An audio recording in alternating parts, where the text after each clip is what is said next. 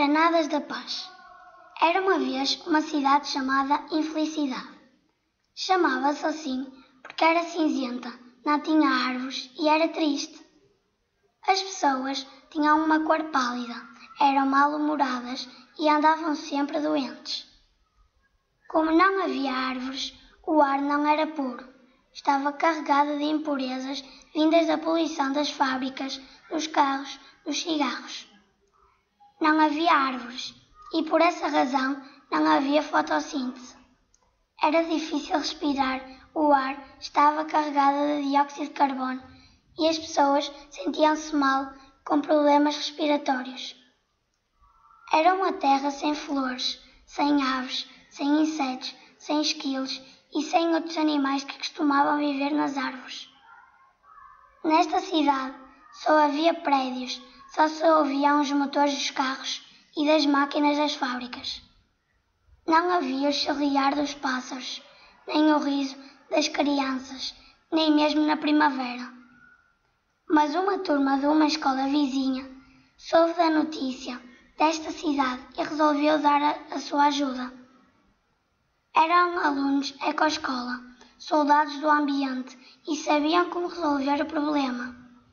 Meteram-se a caminho e levaram com eles a sua arma secreta.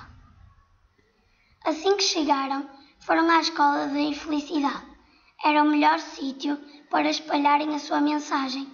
Disseram aos seus colegas que a solução seria fazerem granadas de sementes.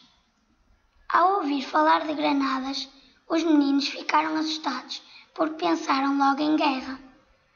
Mas os colegas explicaram que eram granadas de paz e ensinaram como as fazer. Precisam de terra, água, argila, sementes de plantas autóctones. O que é isso? Perguntaram desconfiados. São as plantas características da nossa região, como o carvalho, o castanheiro, o amieiro, o medronheiro, a aveleira, o freixo, o loureiro, o saldeiro, o sobreiro, o pinheiro bravo, o azevinho. Precisam também de sementes de leguminosas. Começam por misturar terra e argila com água na mesma quantidade. Amassam e formam pequenas bolas. Em cada bola colocam uma semente autóctone e algumas leguminosas. Para quê? As leguminosas ajudam a fixar a planta à terra e dão alimento à semente principal. Deixam secar uma semana e depois estão prontas a lançar à terra. As crianças da infelicidade ouviram com atenção e foram contar aos pais, que contaram aos avós, que contaram aos vizinhos, que, com, que como todos os vizinhos contaram a toda a gente. E todos acharam uma ideia excelente. Meteram mãos na massa e cada um fez e lançou pelo menos uma granada. Meses depois, as árvores começaram a germinar, primeiro frágeis, mas depois cada vez mais fortes e resistentes. E a cidade começou a ganhar cor. Dezenas, centenas, milhares de árvores surgiram, pintando a cidade de verde.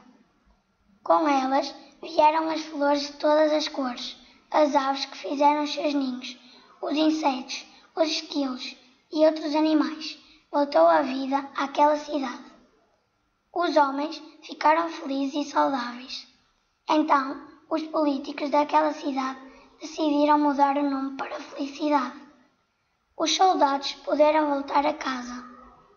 A missão estava cumprida e aquela passara a ser a mais bela cidade do planeta. Mas o seu trabalho não acabara porque num outro canto da Terra havia mais cidades a precisarem da sua ajuda.